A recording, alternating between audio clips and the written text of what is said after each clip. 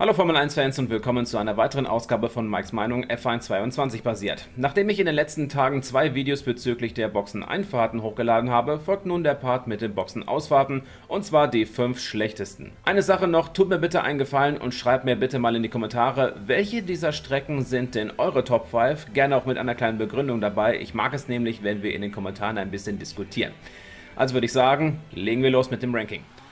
Auf Platz 5 haben wir den Circuit des Spa-Francorchamps. Eine etwas enge Ausfahrt, aber wegen den kalten Reifen kann man sich da wegdrehen. Ist mir in F1 2021 auch schon passiert und da waren die Reifen 10 Grad Celsius höher. Also zusammengefasst, ich bin gar kein Fan dieser Ausfahrt. Auf Platz Nummer 4 haben wir den Circuit Park Zandvoort. Identisch zu Spa, sehr enge Ausfahrt, Chance auf Flügelschaden ist da hoch und ein Dreher am Ende trotz der kalten Reifen ist auch nicht unmöglich, also sachte mit dem Gaspedal.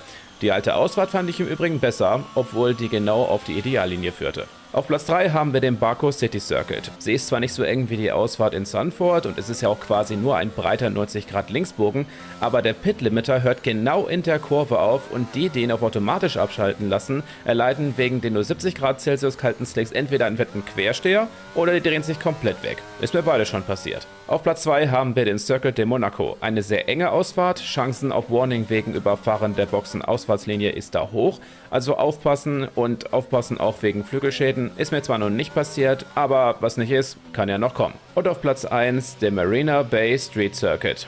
Die Ausfahrt kann selbst Dave Gaming nicht leiten, das hat er in einem seiner letzten Videos auch gesagt. Eine viel zu enge Ausfahrt, die Chancen auf Flügelschaden sind da verdammt nochmal hoch und man joint direkt auf der Ideallinie in Kurve 3. Also immer wenn ich bei der Boxenausfahrt von Singapur stehe, denke ich mir nur so, was ist das denn hier? Ja, das könnte man so sagen. Das fasst es in etwa zusammen. So, liebe Freunde, das soll es mit dem Video gewesen sein. Dankeschön fürs Zuschauen. Wenn es euch gefallen hat, könnt ihr gerne den Kanal supporten. Ihr wisst ja wie. Und dann würde ich sagen, wir sehen uns im nächsten Video wieder. Und zwar am Anfang der nächsten Woche. Macht es gut. Bis dann. Und ciao.